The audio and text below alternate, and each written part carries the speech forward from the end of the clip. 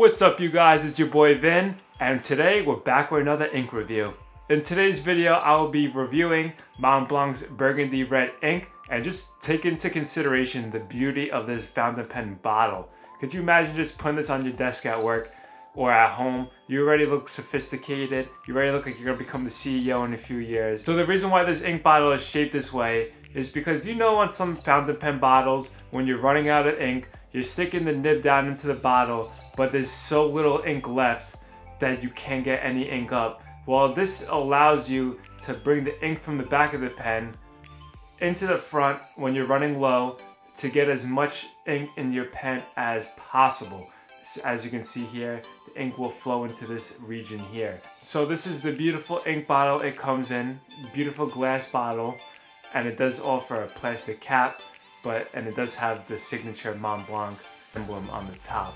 So now I'm going to show you the writing sample I did with this beautiful burgundy red ink in the next scene coming up.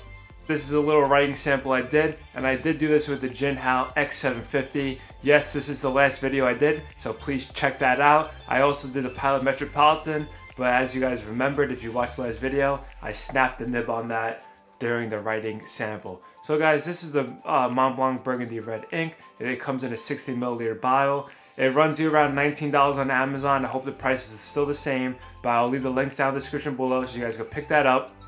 As I said, I wrote, with the Jinhao X750, which had a broad goulet nib on there.